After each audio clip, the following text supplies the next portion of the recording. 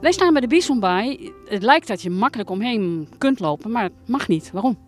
Nou, eromheen lukt sowieso niet meer. Het is een schiereiland geworden, dus je zou heen en weer kunnen lopen. Maar het probleem is dat op het schiereiland zitten nou heel veel wilde dieren. Er staan konings uh, en een paar Galloways. Nou, dat is niet zo'n heel groot probleem. Maar op de landtong zitten ook nu konijnen, hazen. Er zitten in ieder geval reeën, die melding kregen we gisteren. En het risico is dan net te groot als daar heel veel bezoek komt, zeker ook met honden, dat dat soort wilde dieren uh, verstoord worden, gestrest raken, het water in springen. Nou, als hier de bisonbaai in springen, dan zouden ze misschien naar de kant kunnen zwemmen. Maar als ze de andere kant het water in springen, ja, dan kom je in de Waal terecht. En dan is het gewoon einde verhaal, dan verzuipen ze gewoon.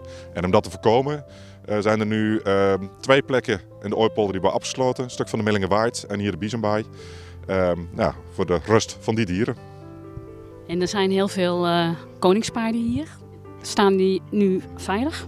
Ja, de koninkpaarden staan hier veilig. Uh, van de meeste gebieden staan ze uh, of binnen dijks of op hoogwatervrije plekken. Dat is plekken die nooit overstroomd raken.